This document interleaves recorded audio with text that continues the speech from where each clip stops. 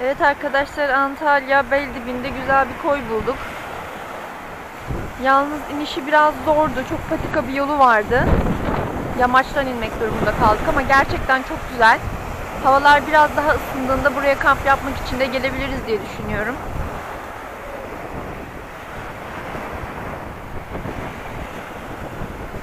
Evet güzel bir yer bulduk.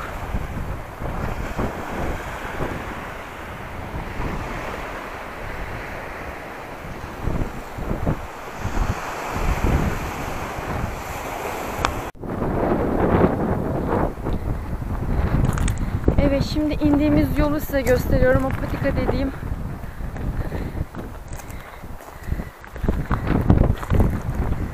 Çok dikkat edilmesi gerekiyor.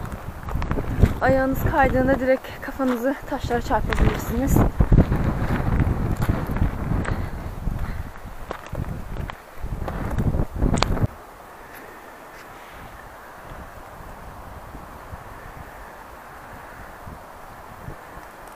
İşte böyle bir yol arkadaşlar.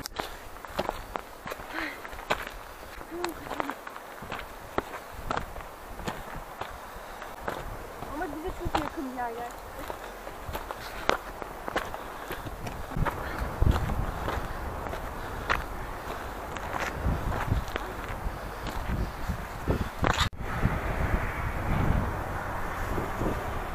Evet arkadaşlar dönüş yolunda geçerken burayı da sizlere göstermek istedim.